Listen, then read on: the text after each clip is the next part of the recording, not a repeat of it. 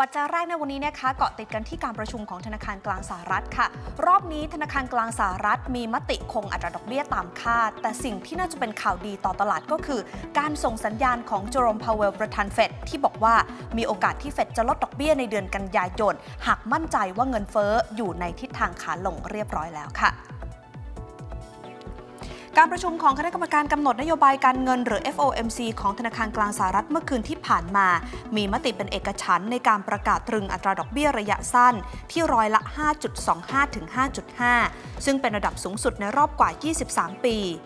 การประกาศคงอัตราดอกเบี้ยดังกล่าวเป็นไปตามที่ตลาดคาดการไว้ แล้วก็เป็นการตรึงอัตราดอกเบี้ยติดต่อกันเป็นครั้งที่ 8 หลังจากที่เฟดปรับขึ้นอัตราดอกเบี้ย 11 ครั้ง นับตั้งแต่ที่เริ่มวัตจักรปรับขึ้นอัตราดอกเบี้ย ในเดือนมีนาคมของปี 2565แถลงการหลังการประชุมระบุว่าเงินเฟ้อชะลอตัวลงในช่วงที่ผ่านมา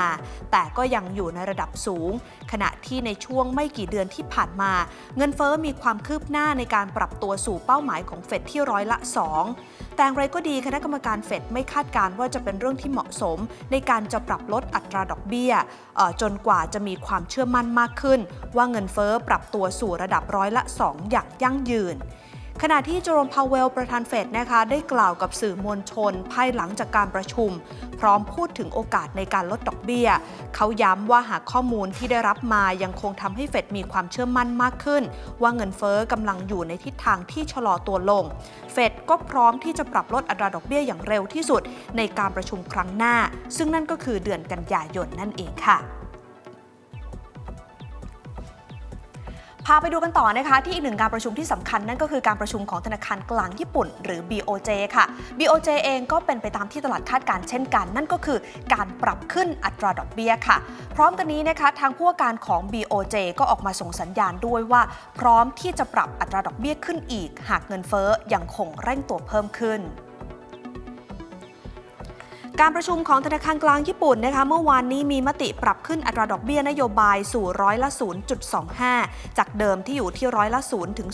0.1 นอกจากนี้ที่ประชุมยังตัดสินใจปรับลดการซื้อพันธบัตรรัฐบาลญี่ปุ่นรายเดือน ลงสู่ 3 ล้านล้านเยน หรือ 20,000 ล้านดอลลาร์สหรัฐ ภายในสิ้นปี 2569 เทียบจาก 6 ล้านล้านเยน โดยการตัดสินใจดังกล่าวถือเป็นอีกก้าวหนึ่งของการถอนนโยบายผ่อนคลายทางการเงินขนาดใหญ่ ที่ BOJ ดำเนินการมาเป็น 10 ปี BOJ คาดการอัตราเงินเฟอ้อพื้นฐานนะคะ ซึ่งไม่นับรวมราคาอาหารสด น่าจะอยู่ที่ร้อยละ 2.5 ภายในสิ้นปีงบประมาณ 2567 และคาดการว่าจะอยู่ที่ราวร้อยละ 2 ทั้งในปีงบประมาณ 2568 แล้วก็ 2569 หลังจากการประชุมเสร็จสิ้นนะคะคาซุโอะอุเอดะผู้ว่าการของ BOJ กล่าวว่า แม้ BOJ จะตัดสินใจปรับขึ้นอัตราดอกเบี้ย แต่อัตราดอกเบี้ยที่แท้จริงก็ยังคงอยู่ในระดับต่ำดังนั้น จึงเชื่อว่าการดำเนินการของ BOJ ในครั้งนี้ จะไม่ส่งผลกระทบต่อเศรษฐกิจมากนัก นอกจากนี้นะคะอุเอดะก็ยังคาดการถึงวงจรของค่าจ้าง แล้วก็เงินเฟอ้อที่สูงขึ้น จะดำเนินต่อไป นอกจากนี้แล้วประเด็นเรื่องการอ่อนค่าของค่าเงินเยน ก็ส่งผลทำให้ราคาการนำเข้าปรับตัวสูงขึ้น BOJ จึงจำเป็นจะต้องระมัดระวังความเสี่ยงที่เงินเฟอ้อจะอยู่ในระดับสูงเกินกว่าเป้าหมาย อุเอดะย้ำด้วยว่าหากเศรษฐกิจและเงินเฟอ้อของญี่ปุ่น มีการเคลื่อนไหวสอดคล้องกับคาดการณ์ของ BOJ หรือสูงกว่าเป้าหมายที่ BOJ คาดการเอาไว้ ก็มีความจำเป็นไปมีความเป็นไปได้นะคะ ที่ BOJ จะปรับขึ้นอัตราดอกเบี้ยอีกอย่างไรก็ดีเรื่องนี้ก็ขึ้นอยู่กับข้อมูลเศรษฐกิจที่จะได้รับในวันข้างหน้าเป็นหลักด้วยค่ะ พาผู้ชมไปดูกันต่อนะคะสำหรับเรื่องของสงครามชิประหว่างสหรัฐอเมริกา แล้วก็จีนที่ยังคงเข้มข้นอย่างต่อเนื่องค่ะ ล่าสุดมีประเด็นที่น่าสนใจนะคะ เพราะว่ามีข่าวมาว่าสหรัฐอเมริกาเนี่ยเตรียมที่จะเพิ่มความเข้มข้นของกฎระเบียบ แล้วก็ประกาศใช้ในเดือนหน้า ซึ่งกฎระเบียบที่ว่านี้ค่ะ จะเป็นการเพิ่มอำนาจให้สหรัฐ สามารถสกัดกั้นเรื่องของการผลิตชิป หรือการนำเข้าอุปกรณ์ที่เกี่ยวข้องกับชิปไปยังประเทศจีนค่ะ สำนักข่าวรอยเตอร์รายงานโดยอ้างแหล่งข่าววงในนะคะว่ารัฐบาลของประธานาธิบดีโจไบเดนกำลังเตรียมประกาศกฎใหม่ เพื่อเพิ่มอำนาจให้สหรัฐอเมริกา สกัดกั้นการส่งออกอุปกรณ์ผลิตชิปจากบางประเทศ ไปยังบริษัทผลิตชิปของจีน กฎหมายนี้จะเป็นการขยายขอบเขตของมาตรการห้ามบริษัทต่างชาติ ขายสินค้าที่ผลิตโดยเทคโนโลยีของสหรัฐ ซึ่งจะส่งผลให้โรงงานผลิตชิปของจีนประมาณ 6 แห่ง ที่เป็นศูนย์กลางการผลิตชิปสุดล้ำของประเทศ ถูกสั่งห้ามรับอุปกรณ์ผลิตชิปจากหลายประเทศค่ะ แต่แหล่งข่าวผู้ไม่ประสงค์ออกนามก็ระบุว่าประเทศพันธมิตรที่ส่งอุปกรณ์ผลิตชิปไปยังจีนณปัจจุบันเนี่ยก็จะมีทั้งญี่ปุ่น เนเธอร์แลนด์แล้วก็เกาหลีใต้ 3 ประเทศนี้จะได้รับการยกเว้นนะคะทำให้ผลกระทบของกฎอาจจะไม่รุนแรงมากนัก ด้วยเหตุนี้บริษัทผู้ผลิตอุปกรณ์ทำชิปรายใหญ่อย่าง ASML โตเกียวอิเล็กทรอนจึงไม่ได้รับผลกระทบ ข่าวดังกล่าวกลับส่งผลให้ราคาหุ้น ASML รวมถึงโตเกียวอิเล็กทรอน และบริษัทญี่ปุ่นรายอื่น ๆ ที่ผลิตอุปกรณ์เกี่ยวกับชิป ปรับตัวขึ้นอย่างแข็งแกร่งด้วย อย่างไรก็ดีนะคะถ้าวิเคราะห์กันถึงประเทศหรือว่าดินแดนที่การส่งออกอาจจะได้รับผลกระทบ น่าจะประกอบไปด้วยอิสราเอล ไต้หวัน สิงคโปร์ แล้วก็มาเลเซีย แต่ทางสำนักข่าวรอยเตอร์ก็ไม่ได้สามารถระบุได้นะคะว่าโรงงานผลิตชิปของจีนแห่งใดบ้าง ที่จะได้รับผลกระทบจากมาตรการนี้ นอกจากนี้กฎใหม่ก็ยังหน่วยในขั้นตอนของการร่าง แล้วก็อาจจะมีการปรับเปลี่ยนได้ แต่เป้าหมายคือสหรัฐจะประกาศใช้ในรูปแบบใดรูปแบบหนึ่ง ภายในเดือนหน้าอย่างแน่นอนทั้งนี้นอกจากสหรัฐจะเพิ่มกฎใหม่ดังกล่าวแล้วสหรัฐเองยังเตรียมที่จะเพิ่มบริษัทจีนอีกราว 120 แห่งในบัญชีดำทางการค้า ซึ่งก็จะรวมถึงโรงงานผลิตชิปประมาณ 6 แห่ง บริษัทผู้ผลิตเครื่องมือ บริษัทซอฟต์แวร์ออกแบบวงจรอิเล็กทรอนิกส์อัตโนมัติ แล้วก็บริษัทที่เกี่ยวข้องรายอื่น ๆ อีกด้วยค่ะ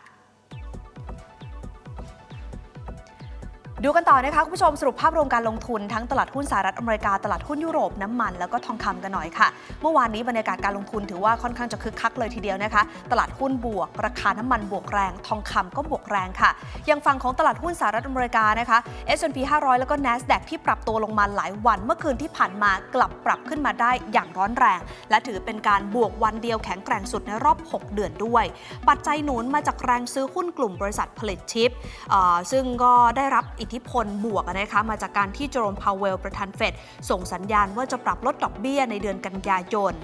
ขณะที่อัตราผลตอบแทนพันธบัตรของรัฐบาลสหรัฐอายุ 10 ปี ร่วงลงสู่ร้อยละ 4.043 มีหัวหน้านักเศรษฐศาสตร์จากบริษัทหลักทรัพย์ LPL Jeffrey Roche นะคะบอกว่าถ้อยแถลงของโจมพาวเวลเป็นการส่งสัญญาณว่าเฟดมีความพร้อมที่จะปรับลดดอกเบี้ยในเดือนกันยายน นอกจากนี้มีตัวเลขการจ้างงานของภาคเอกชนสหรัฐที่เปิดเผยออกมาล่าสุด ก็แสดงให้เห็นว่าตลาดแรงงานของสหรัฐ เริ่มจะคลายความตึงตัวลงแล้ว และนี่ก็จะเป็นปัจจัยสนับสนุนให้เฟดเริ่มปรับลดดอกเบี้ยด้วย โมเมนตัมดังกล่าวนะคะทำให้ราคาหุ้น NVIDIA ค่ะปิดตลาดทะยานขึ้นถึงร้อยละ 12.8 ซึ่งก็ได้แรงหนุนจากการที่ Advanced Micro Device หรือ AMD ที่เป็นคู่แข่ง เปิดเผยตัวเลขคาดการยอดขายชิป AI ที่แข็งแกร่งในปี 2567 ซึ่งหุ้น AMD เองราคาก็พุ่งขึ้นเช่นเดียวกันประมาณสักร้อยละ 4.3 ค่ะ ดาวโจนส์เมื่อคืนที่ผ่านมานะคะปรับตัวบวกไปได้เกือบเกือบร้อยจุดค่ะ ปิดพุ่งขึ้นมาร้อยละ 0.24 ขณะที่ S&P 500 นะคะ ขึ้นมาได้โดดเด่นเลยทีเดียวนะคะ กลับขึ้นมาได้ร้อยละ 1.58 ปิดตลาดไปที่ 5,522.30 จุด NASDAQ นะคะ ลงแรงเวลาขึ้นทีก็ขึ้นแรงค่ะ เพราะว่าหุ้นในกลุ่มเทคโนโลยีปรับตัวขึ้นค่อนข้างจะแข็งแกร่งนะคะ ส่งผลทำให้ภาพรวมของ NASDAQ ปิดตลาดบวกได้แรงสุดเลยร้อยละ 2.64 ปิดไปที่ 17,599.40 จุดค่ะ พาผู้ชมไปดูกันต่อนะคะที่บรรยากาศการลงทุนจากฝากฝั่งของยุโรปกันบ้าง ยุโรปเองก็ดูเหมือนว่าแรงกดดันที่เคยกดดันตลาดเนี่ยเริ่มจะแผ่วไปบ้างแล้วนะคะ สัปดาห์นี้ตลาดหุ้นในยุโรปส่วนใหญ่ก็ถือว่าทำผลงานได้ค่อนข้างดีเลยทีเดียวค่ะ ภาพรวมเป็นบวกได้ เพราะว่าได้แรงหนุนจากการพุ่งขึ้นของหุ้น ASML ซึ่งเป็นบริษัทผลิตอุปกรณ์ชิปของเนเธอร์แลนด์นะคะ ซึ่งก็มีรายงานว่าบริษัทเนี่ยอาจจะได้รับการยกเว้นจากกฎใหม่ของสหรัฐ เกี่ยวกับการส่งออกอุปกรณ์ชิปของต่างชาติขณะที่อีกหนึ่งปัจจัยก็คือการเปิดเผยผลประกอบการในเชิงบวกค่ะของบริษัทจดทะเบียน ก็เลยหนุนตลาด ตอนนี้นักลงทุนก็รอจับตาเรื่องของการประชุมของธนาคารกลางอังกฤษนะคะ ซึ่งก็มีกำหนดจะประชุมในวันนี้วันพฤหัสบดีค่ะฟุตซี่ร้อยของลอนดอนปิดตลาดปรับตัวบวกเพิ่มขึ้นได้ร้อยละ 1.13 ดัชนี CAC 40 ตลาดหุ้นฝรั่งเศสเมื่อวานนี้พุ่งขึ้นมาร้อยละ 0.76 ดัชนีดัคตลาดหุ้นเยอรมนีค่ะ ปรับตัวบวกได้ร้อยละ 0.53 ค่ะ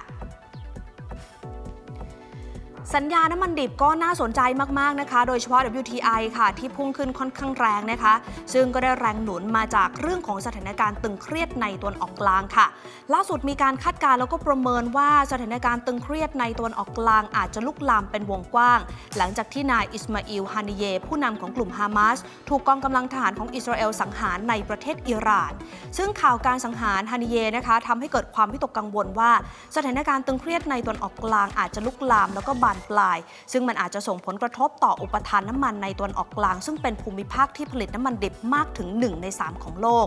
นอกจากนี้ราคาน้ำมันก็ยังปรับตัวขึ้น หลังจากที่สำนักงานสารสนเทศด้านการพลังงานของรัฐบาลสหรัฐนะคะ รายงานสต็อกน้ำมันดิบรายสัปดาห์ ลดลงมากกว่าที่นักวิเคราะห์คาดการณ์ ส่งผลทำให้สัญญาน้ำมันดิบ WTI ส่งมอบเดือนกันยายนค่ะ เพิ่มขึ้นมาถึง 3 ดอลลาร์ 18 เซนต์ ขณะที่สัญญาน้ำมันดิบเบรนท์ส่งมอบเดือนกันยายนนะคะ บวกเพิ่มขึ้นมาได้ 2 ดอลลาร์กับอีก 9 เซนต์ค่ะ สัญญาทองคำตลาดนิวยอร์กเองก็ปรับตัวบวกขึ้นได้ค่อนข้างจะโดดเด่นเช่นเดียวกันนะคะ ซึ่งนักลงทุนกลับเข้ามาซื้อทองคำในฐานะสินทรัพย์ปลอดภัย หลังจากเริ่มมีความวิตกกังวลเกี่ยวกับสถานการณ์ความขัดแย้งในตะวันออกกลางที่อาจจะลุกลามบานปลายมากยิ่งขึ้น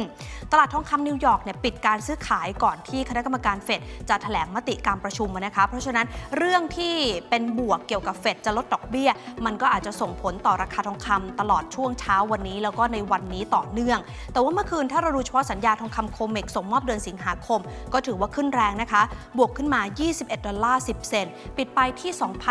2,473 ดอลลาร์ต่อทรอยออนซ์ค่ะ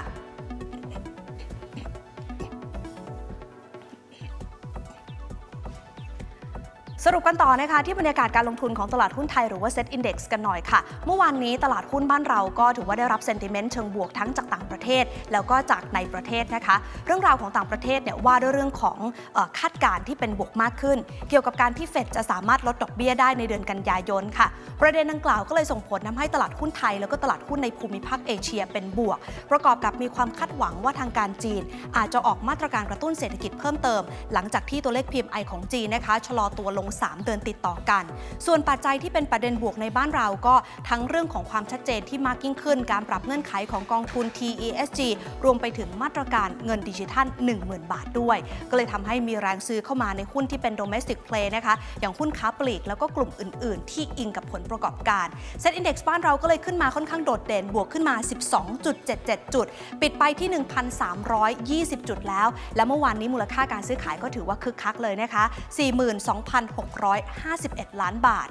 มาดูห้าดับหลักทรัพย์เพิ่มเติมนะคะที่มีการซื้อขายสูงที่สุดในกระดาน Set Index เมื่อวานนี้ค่ะ ผู้นำในกลุ่มค้าปลีกอย่าง CPO เมื่อวานนี้มูลค่าการซื้อขายนำมาเป็นอันดับหนึ่งนะคะราคาขึ้นมาร้อยละ 3.56 ปิดไปที่ 58 บาท 25 สตางค์ AOT ค่ะ ยังคงปรับตัวร่วงลงค่อนข้างจะต่อเนื่อง เมื่อวานนี้ราคาหุ้นลงมาร้อยละ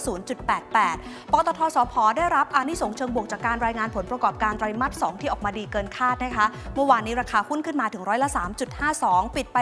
147 บาท เดลต้ายังคงบวกต่อเนื่องค่ะ ก็อันนี้สงส่วนหนึ่งจากการรายงานผลประกอบการที่ออกมาโดดเด่นนะคะ ราคาหุ้นขึ้นมาร้อยละ 2.51 ปิดไปที่ 102 บาท ส่วนอันดับที่ 5 ก็คือ Advance เมื่อวานนี้ขึ้นมาร้อยละ 1.74 ค่ะ ปิดตลาดไปที่ 234 บาท เราไปดูหุ้นเอเชียกันต่อนะคะ ว่าเช้านี้เอเชียจะตอบรับเชิงบวก ตามทิศทางแล้วก็เซนิเมนต์จากฝั่งของสหรัฐอเมริกา แล้วก็ยุโรปหรือไม่ หลังจากที่ประธานเฟดออกมาส่งสัญญาณในเรื่องของการลดดอกเบี้ย เอเชียเช้านี้ก็ถือว่าผสมผสานกันแล้วนะคะนิกเกอิตลาดหุ้นญี่ปุ่นเนี่ยร่วงค่อนข้างแรงค่ะคุณผู้ชม วันนี้ลงมาร้อยละ 3.03ฮั่งเส็งฮ่องกงบวกได้เล็กน้อยเซี่ยงไฮ้ Composite ตลาดหุ้นจีนขึ้นมาร้อยละ 0.17 คอสปีเกาหลีใต้ขึ้นมาร้อยละ 0.42 ส่วน Straits Times ตลาดหุ้นสิงคโปร์ปรับตัวร่วงลงร้อยละ 0.72 ค่ะ ขอบคุณที่ติดตามรับชมรายการ TNN ชั่วโมงทำเงินนะคะ คุณผู้ชมอย่าลืมกด subscribe กดไลค์กดกระดิ่ง กดแชร์ ทุกช่องทางออนไลน์ของ TNN ช่อง 16 จะได้ไม่พลาดทั้งรายการสด และคลิปวิดีโอต่างๆ ที่น่าสนใจอีกมากมายค่ะ